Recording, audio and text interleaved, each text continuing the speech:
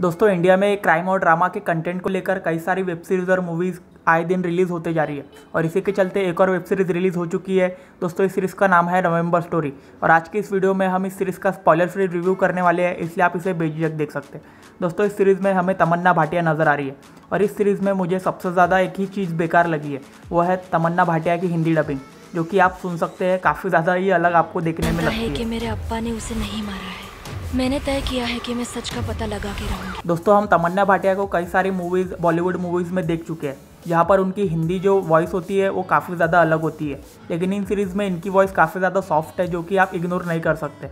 दोस्तों सीरीज़ में मुझे यही सबसे ज़्यादा अलग बात लगी। दोस्तों सीरीज़ की कहानी क्राइम को लेकर बनाई गई है, जहाँ पर एक मर्डर हो जाता है।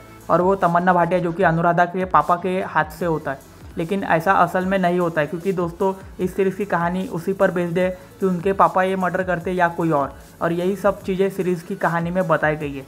सीरीज़ में कई सारे अच्छे कैरेक्टर्स भी मौजूद है, जो कि कमाल की एक्टिंग करते हुए नज़र आ रहे हैं। और इनके एक्टिंग परफॉर्मेंस आपको काफ़ी ज़्यादा पसंद आएँगे। दोस्तों, इस सीरीज़ की कहानी में काफ़ी ज़्यादा अच्छे तमिल एक्टर्स प्रेजेंट है, जो कि कमाल की एक्टिंग करते हुए नज़र आ रहे हैं। सीरीज़ में जो इंटेंसनेस है, वो भी आपको देखने को मिल जाता है। दोस्तों सीरीज़ की कहानी में यही चीज़ें बताई गई है कि आखिर मर्डर कौन करता है और तमन्ना अपने पापा को बचाने की कोशिश करते रहती है, जो कि अनुराधा का रोल प्ले कर रही है। और दोस्तों, वो अपने पापा को किस प्रकार बचाती है, ये आप सभी को देखने में काफ़ी ज़्यादा मज़ा आएगा। सीरीज़ की डायरेक्शन भी बहुत अच्छी तरीके से हुई है। और दोस्तों, कहानी की बात करें तो कहानी हमें क्राइम ड्रामा के कंटेंट में तो हम ऐसी कहानी देखते रहते हैं।